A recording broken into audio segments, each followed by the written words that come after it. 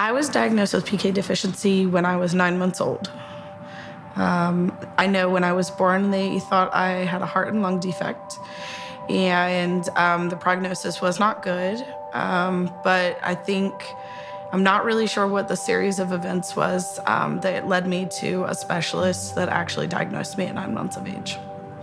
My parents have told me that it was pretty traumatic for them. Um, I think the initial thought was uh, when I was born, I was not going to survive. Um, they, I was rushed off pretty much immediately, and I know that my parents did not get to see me right away. You know, a normal mother, when their child is born, gets that moment where that's that skin to skin contact where they get to make that first initial bond. And I know that my mom did not have that with me um, because I was rushed off pretty much immediately. So I think it was very scary for them. They were also young parents. Um, so it was it was huge for them. It was very, I think, probably life altering because they, you know, didn't really know what was going on.